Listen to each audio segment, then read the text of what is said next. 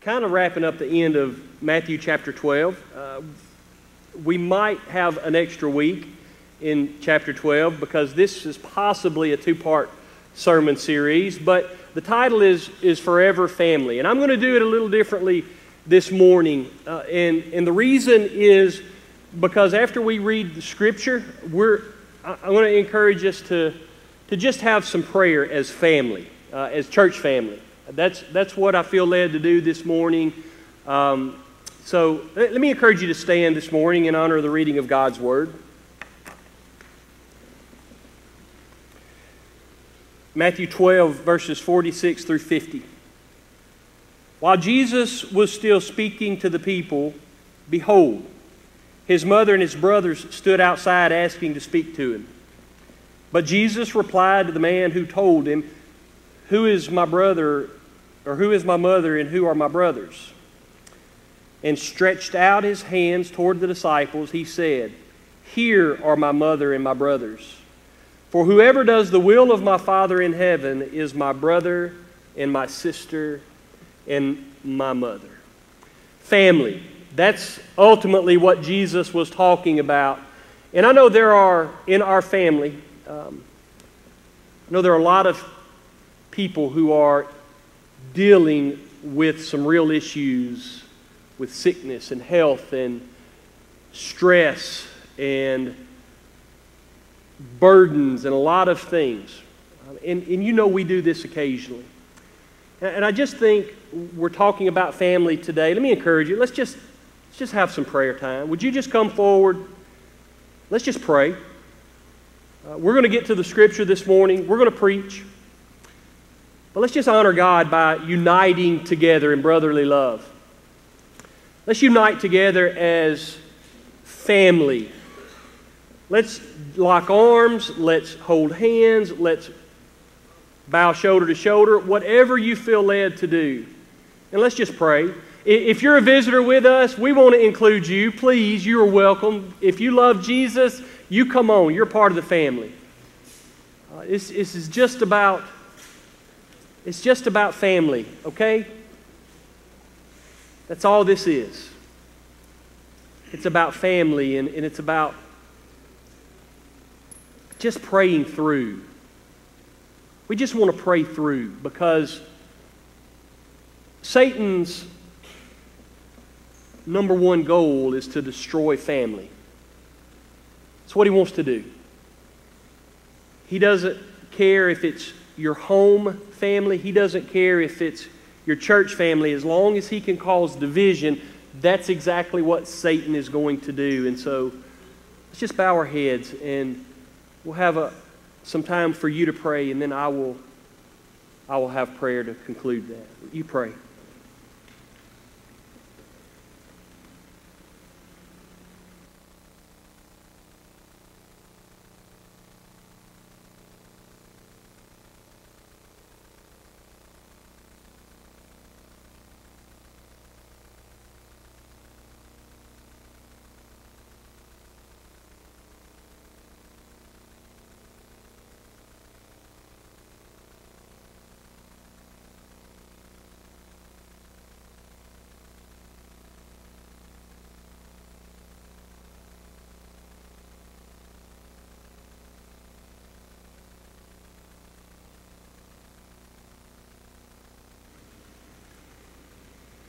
Father, I know silence makes us uncomfortable.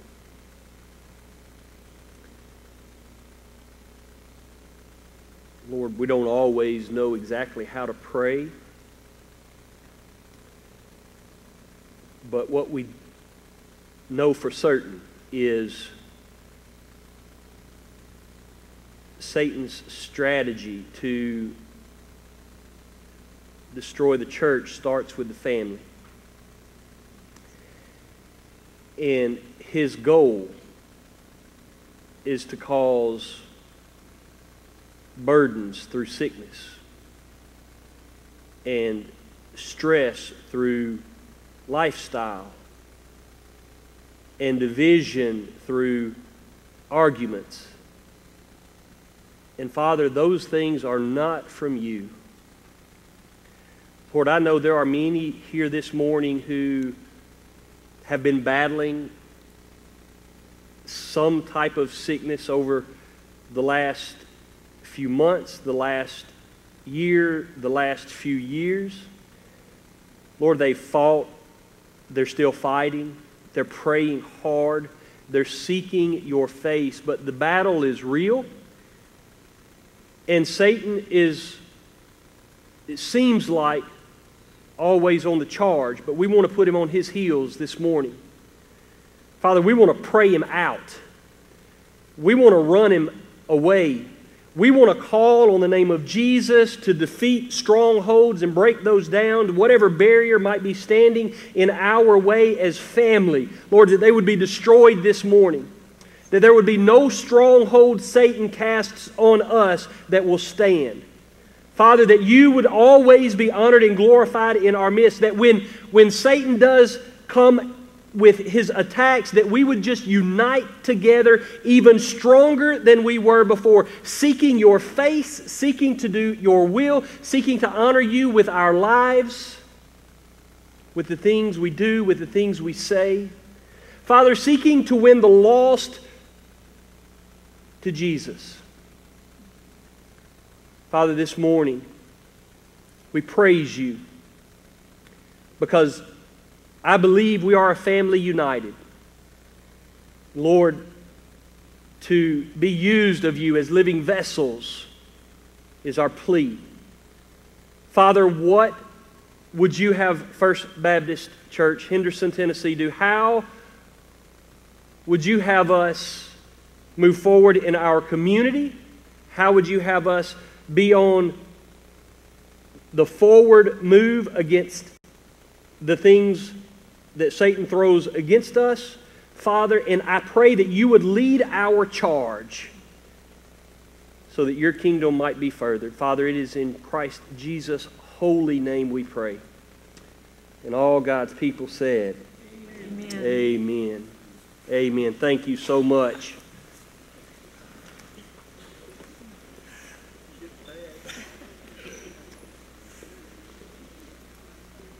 Thank you.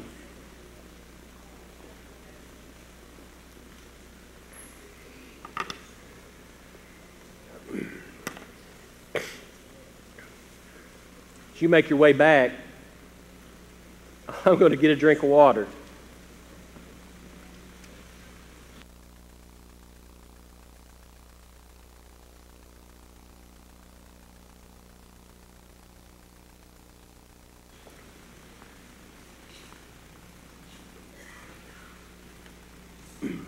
Friends, we're going to, for a moment, just kind of focus on this scripture. Um, for the next few minutes. I, I, don't know how long the, the message will be this morning. Uh, I haven't preached through it. Um, you know, just thinking about family and how important family is, there are a lot of times we forsake family.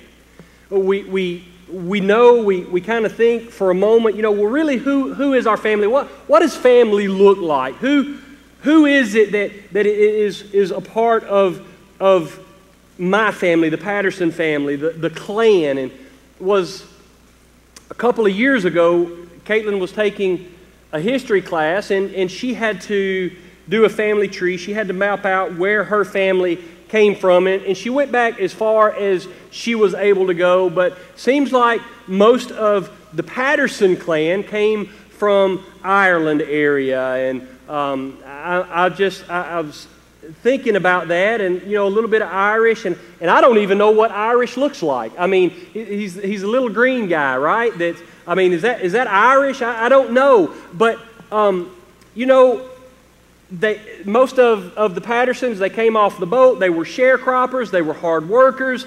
Um, they ended up in, in the New York area, and then they began to make their way south towards Tennessee, Mississippi. They even went deeper. And, and I don't know if you're aware of this, but there are Pattersons everywhere.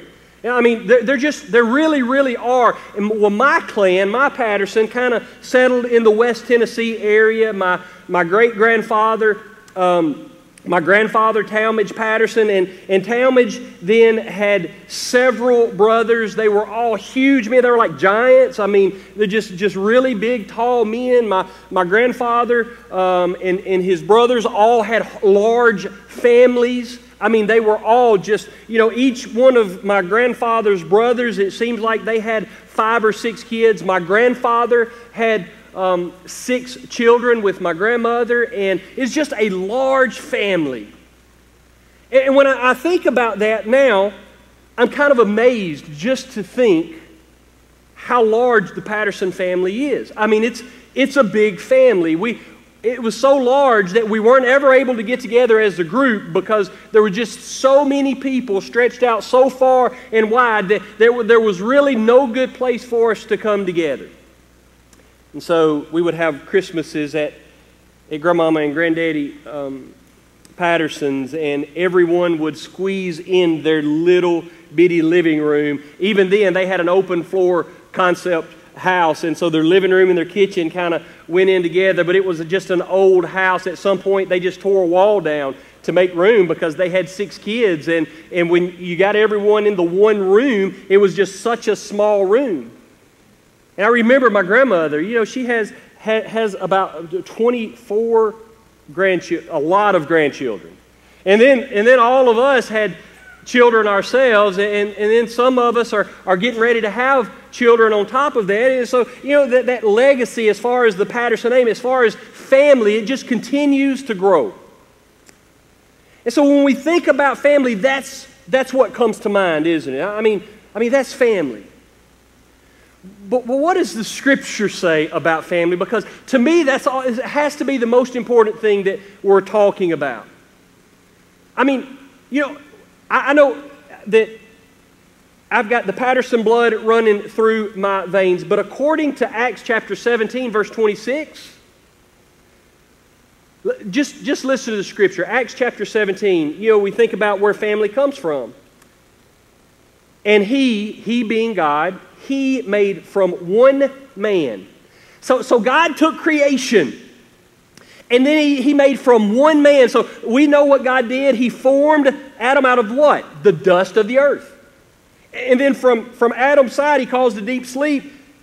And then he pulled a rib out. And from the rib, he created woman. He created Eve. And so we have Adam, the first man. We have Eve, the first woman. And they began the first family. And from them, family spread far and wide. And so the scripture says right here, and he and God made from one man every nation of mankind to live on all the face of the earth. But listen up to what else. This is fantastic because it says, having determined the allotted periods and the boundaries of their dwelling places. So not only did God have everything to do with humanity, He also had everything to do with when you were going to be born, where you were going to be born, what that boundary of humanity was going to look like. So for the Pattersons, you know, whether we, we started in Ireland, it, it even goes further than that. You understand? We all started in the Garden of Eden.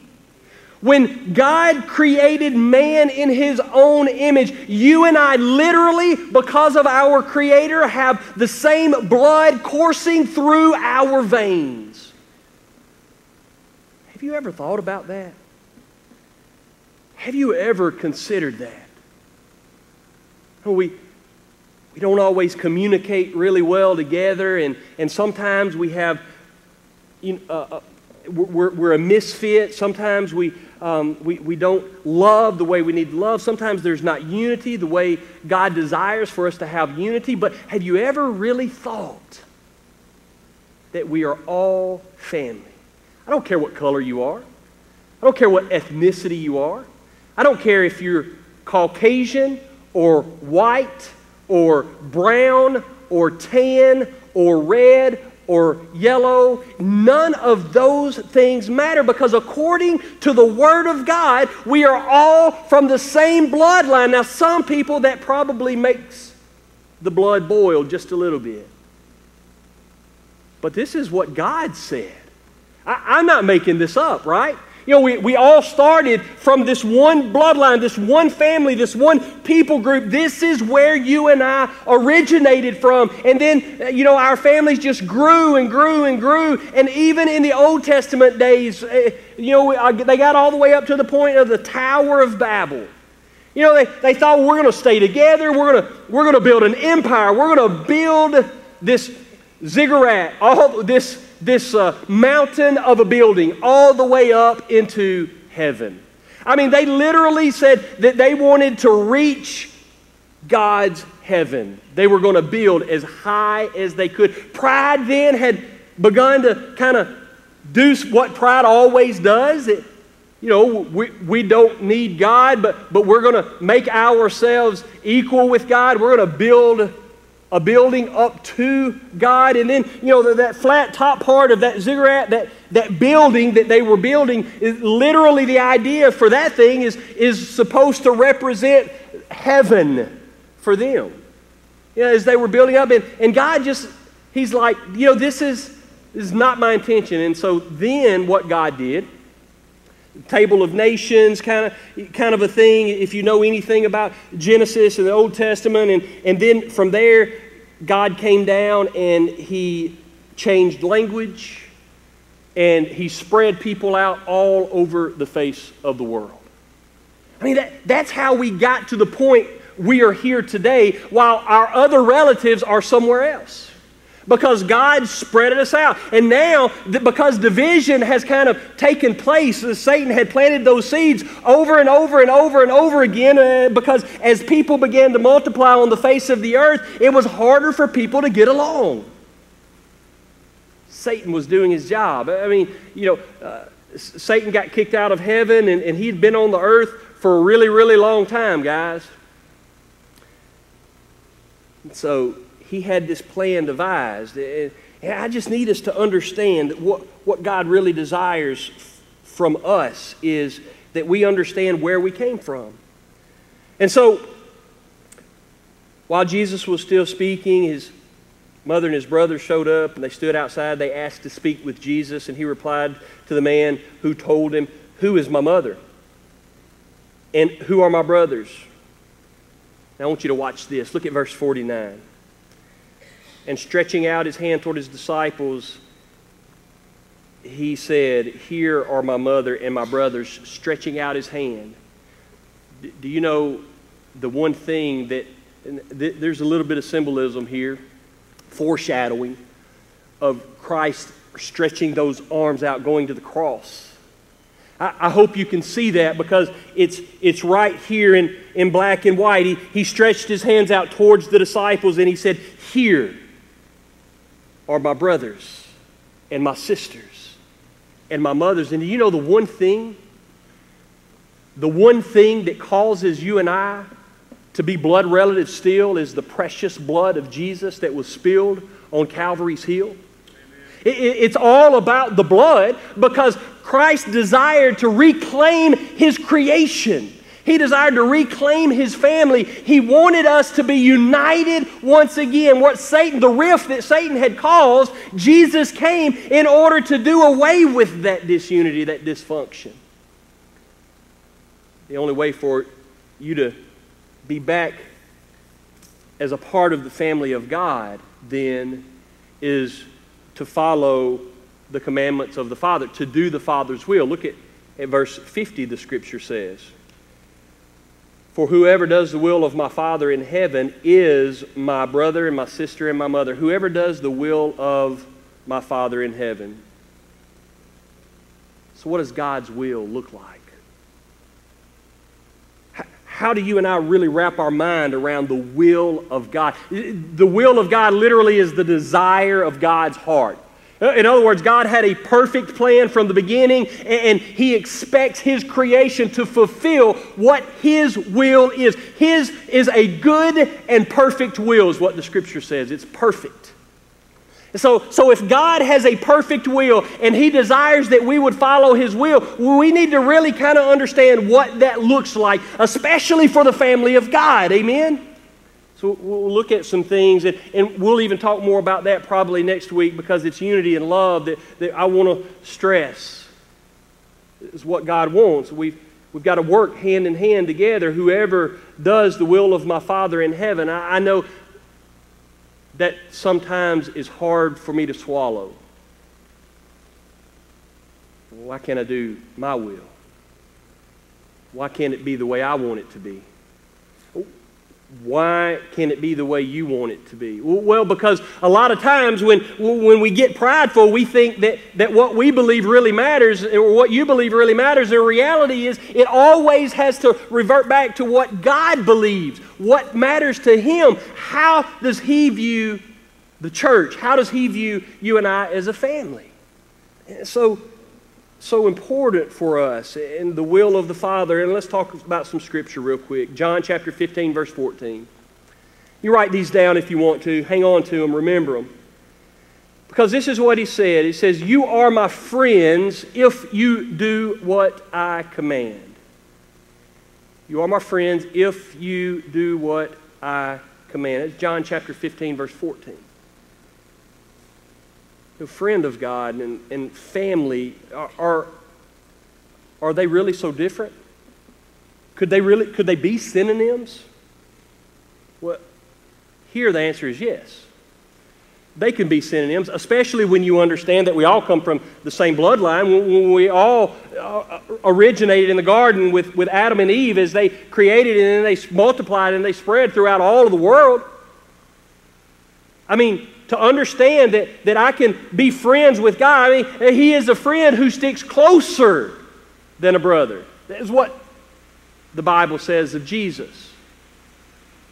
And that's what we need to understand when, when we come to those moments in life where we're just frustrated with how things are going. Because the reality is, we all get to that point at some time or another. Mean, we just, we just want to throw in the towel. We just want to throw, in, throw our hands in. We just want to quit. Be honest. How many of you have ever wanted to quit? Don't, don't lie. Raise your hand if you just ever wanted to quit. Yeah. That's exactly where Satan wants us, isn't it? He wants us to quit. He wants us to throw in the towel. He wants us to give up. And, and you have to understand when we get to that point in life, one of the things that we're giving up on is God Himself. I mean, if you're a child of God and, and you have confessed your sin and you've trusted Jesus as your Savior, then God expects you to live a certain way. You, there's, a, there's a lifestyle expectation He has for you. So if you are my friends, you will do what I command. These commands. Well, here we are again. Well, preacher, I, I thought it was by grace you have been saved through faith, eh, not by works.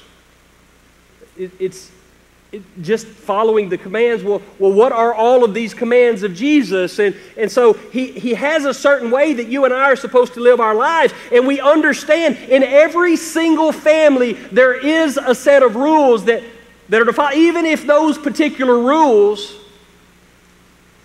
might not be stated all the time. I mean, you know what I desire more than anything? Can I? Oh, I'm just going to share this. What I desire more than anything, and I mess up every single day. But I desire more than anything to be obedient to my Father. I fall short so often. You fall short so often. We're going to always fall short. This reason it's so important when we find ourselves in moments of weakness that we pick ourselves up, we dust ourselves off, and we continue to move forward with Jesus. Pressing on towards the goal is what Paul preached. Pressing on towards the goal of, of the upward call that is in Christ Jesus our Lord. I mean, if we were to stay the same, then we would never be moving forward with Jesus, would we? If a child stayed the same after it was born out of its mother's womb, there'd never be any progress, there'd never be any growth. What God desires is that we always be dependent upon Him, but we have to get to a point where we learn to be obedient to the Scripture, to the Word of God. He spoke this for us. Listen to John 14, verse 15. So the first one was John 15, 14. Now we're going to John 14, verse 15. If you love me, now, now we're getting into love. Love's important, isn't it? If you love me, you will keep my commandments. Jesus is telling the disciples these things always. He's, he's talking to those that are in earshot because everyone seemed like always had their own agenda. And one thing we've learned over the years is our agenda is useless when it comes to honoring God. I've tried. You've tried. Now let's do it God's way, and I, I, think if we'll, we'll do it God's way. And so, if you love me, Jesus said, if you love me, how many lovers of Jesus do we have?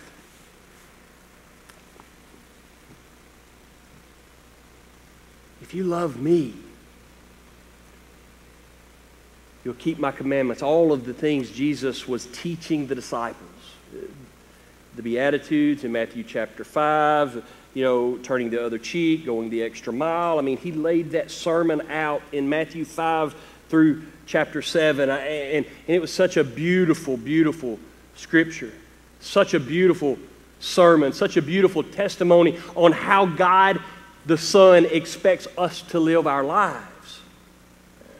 Honoring Him with the things we say, honoring Him with the things we do.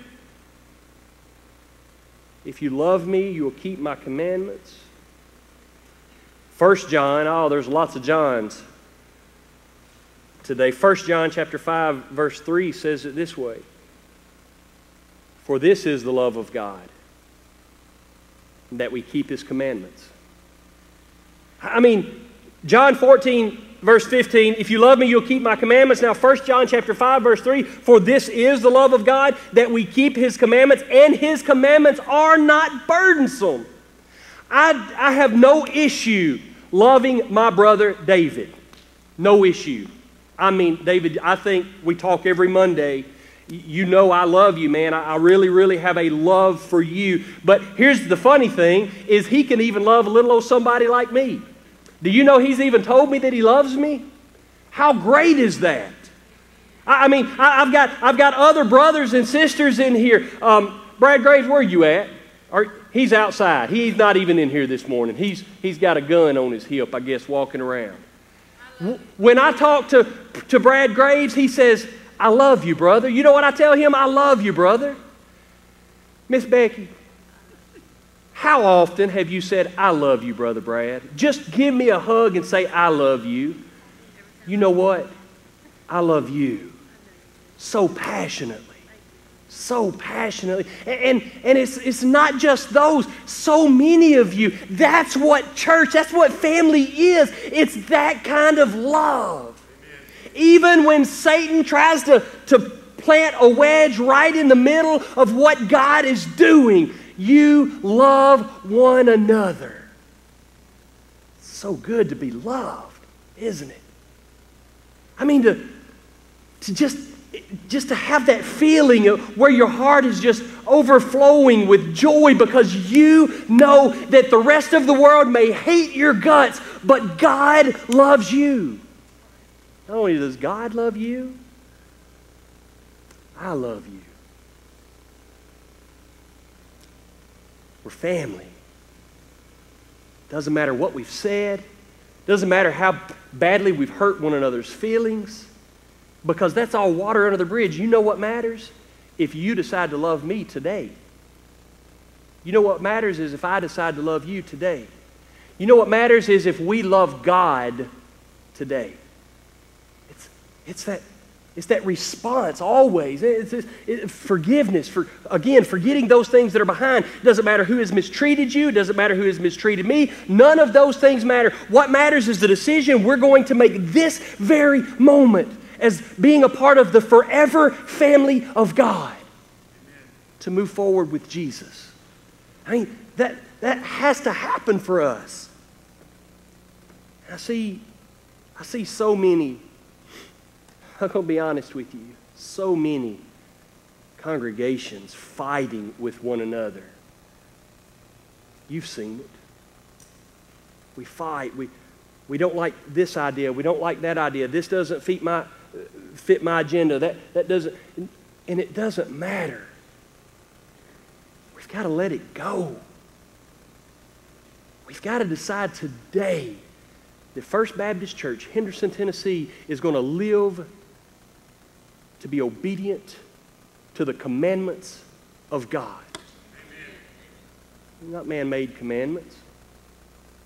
It's, it's the focus on Jesus. This is the love of God, that we keep His commandments. God loves us, right? That love is an unconditional love, but that same unconditional love is exactly the love you and I are supposed to have for one another. I mean, that, that passionate love. You know, when you call me at 2 o'clock in the morning, I've had those calls. Some of you, there's a couple in here who've called me at 2 o'clock in the morning. And you go. You put your shoes on, you put your clothes, you don't put your shoes on first. I've done that before. You put your shoes on, you brush your teeth as quickly as you can because, you know, that nighttime breath is really bad. Get dressed and you get in the vehicle and you go to the hospital. You stay all night. I mean, you, you do whatever you have to do because you have a family member that's suffering. You have a family member that's in need. And, and, and, it's not just me. You have done those very same things. You have received those very same calls in the middle of the night. And because you have a love for your brother and sister in Christ, you do whatever it takes to get right to them. That's, that's what we do, isn't it? So, this is the love of God that we keep His commandments, and it, His commandments are not burdensome just not going to be burdensome. You and I being unified should not be burdensome. Satan calls the division, Satan calls the rift. Following the Word of God is not burdensome. When, when following God's Word becomes burdensome, then it, all, it has to revert back to the condition of our hearts as individuals and then as a church. It's not burdensome. And then really, you know, the father expects obedience from his families and unity from, his, from her people, from the church. We need to be single minded and focused. We need to have a love for the lost. We've got to be outward focused. Let's take the attention off of us for a moment. Let's put the attention on the work God has created that we should walk in beforehand according to Ephesians. And then we've got to be a going people. And you know, Matthew 28, verse 18 through 20 has been preached and shared so many times from the pulpit. You have heard it from me, you have heard it from Brother Stan, you've heard it from other pastors along the way about being a God honoring, going people. We can't go if we're always dysfunctional. If we're always fighting amongst ourselves, and, and I, we're not fighting. I'm just, this is where we are in the text, this is what I'm sharing.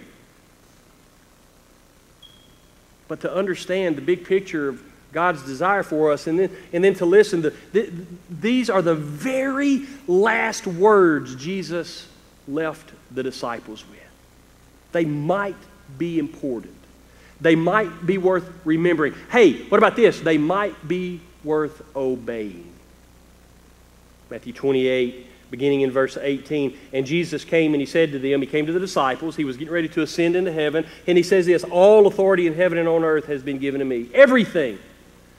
All authority. It, it, literally means I have the power to make any decision that I want to make. And, and I, every decision, every power, all of that authority has been given to me. I am now the sovereign, ruling, reigning king of heaven and earth. That's what Jesus was saying.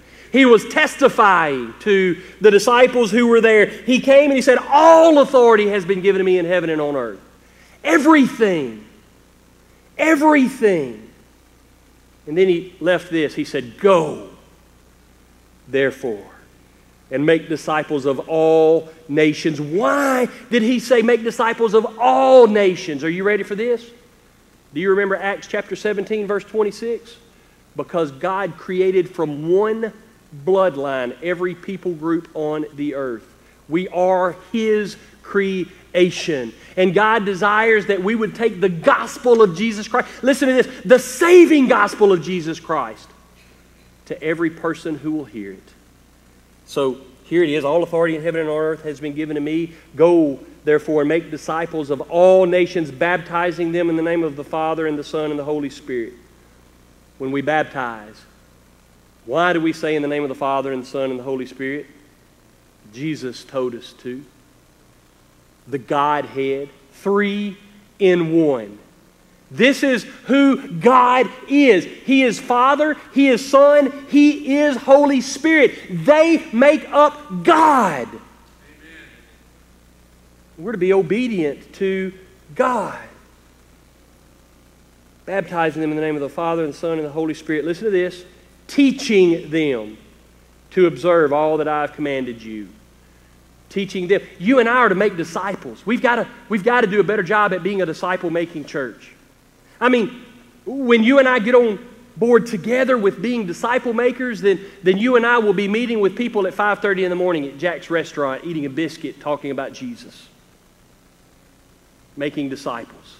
Because as we make a disciple they become a disciple of Jesus, we're now teaching them to observe all that we have been commanded. What have we been commanded to do? To love the unlovable, not to allow Satan to cause disunity and dysfunction. We, we have been called to be a people of action. We've been called to be a people who, who are going. So, teaching them to observe all that I've commanded you. And then he says this Remember this. Behold, pay attention I am with you always, even to the end of the age. He said, I will be with you wherever you go until I return. I will always be with you. I will never leave you. I will never forsake you. You will not be abandoned. You will always be a child of God. You will always be a part of the family of God if you really are ready to understand what the takeaway of the day is. And here it is. I'm going to lay this out there and we're going to wrap this thing up takeaway of the day is to be a part of God's family, you must obey His commandments, to trust His Son Jesus with your life. Forever family. You want to be a part of a forever family? I mean, we see these commercials about adoption.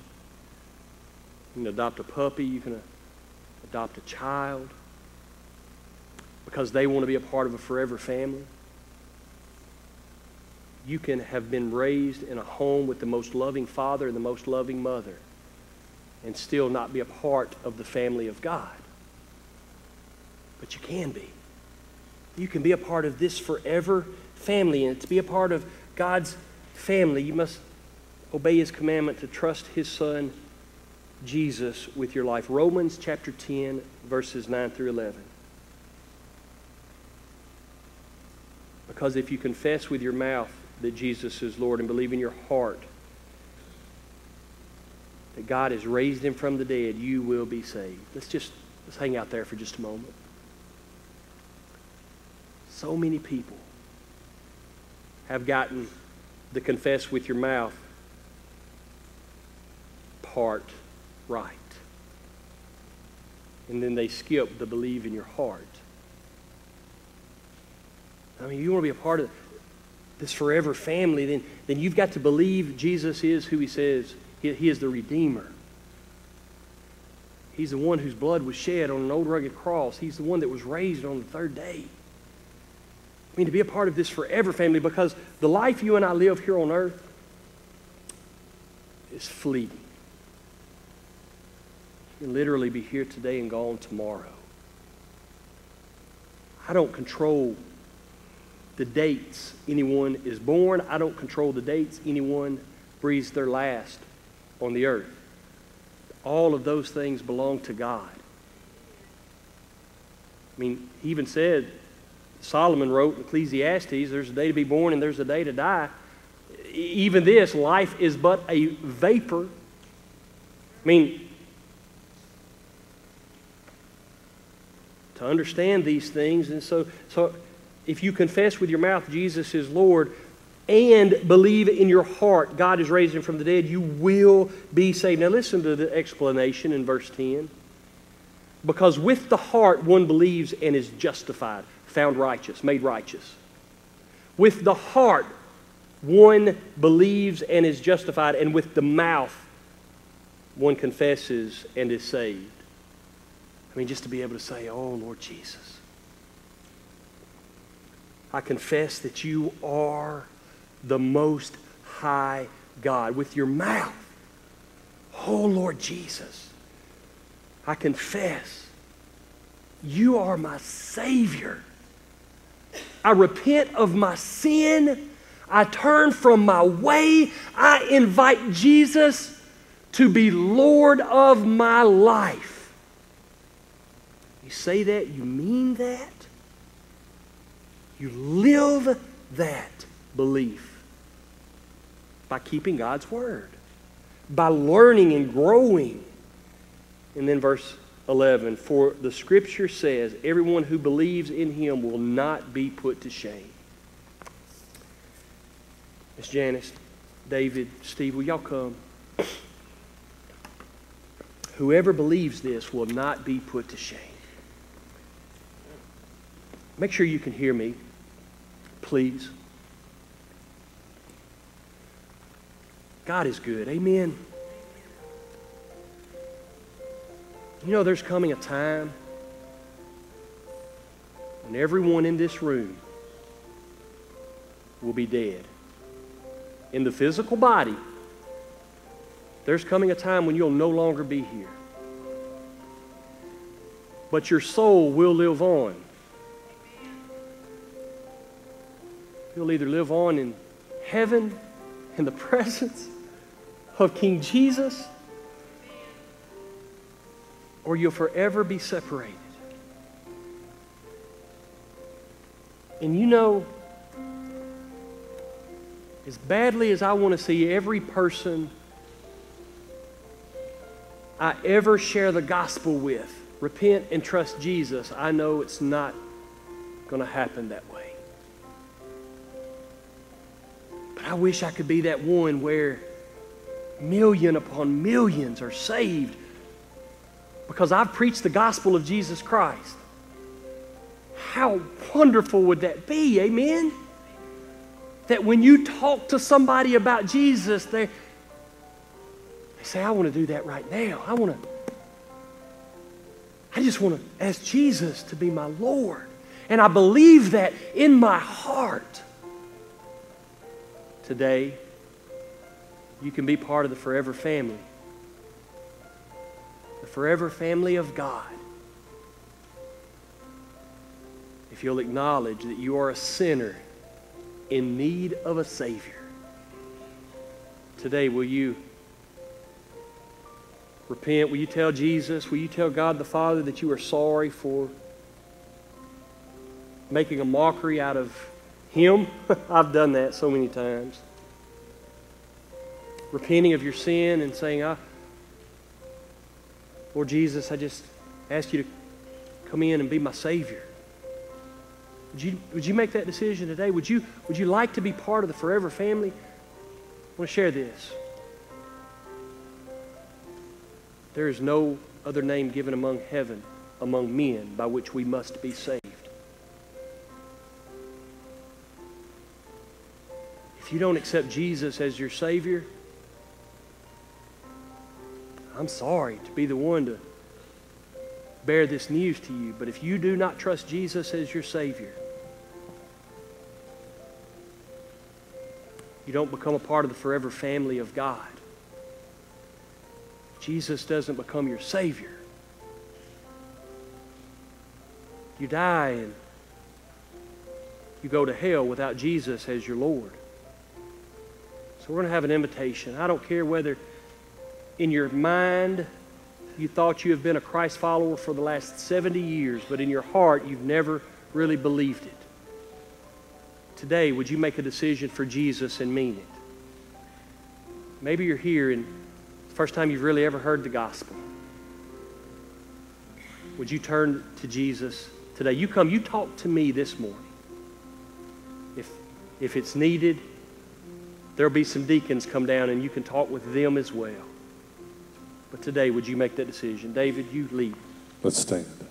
When we walk with the Lord in the light of His Word, what a glory He sheds on our way when we do His good will.